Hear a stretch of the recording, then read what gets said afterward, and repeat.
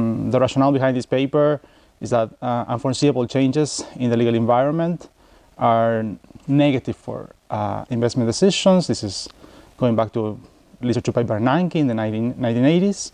However, um, producing uh, comparable measures across countries and time uh, of uncertainty, and in particular legal uncertainty, is challenging. And this is where I come from. I've developed a new measure of legal uncertainty based on texts from laws.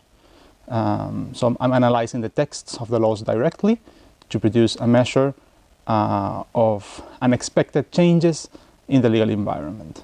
And I use this measure um, to analyze uh, firms' reactions to a change uh, in legal uncertainty.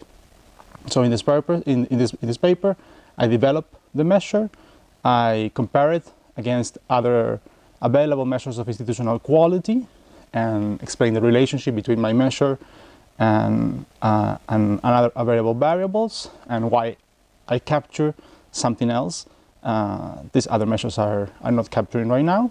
And I test how robust my measure is to changes in the methodology.